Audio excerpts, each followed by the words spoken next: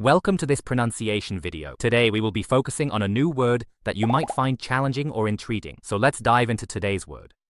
Fukorekiraku, which means uncomfortable in Japanese. Let's say it all together. Fukorekiraku. Fukorekiraku. Fukorekiraku. One more time. Fukorekiraku.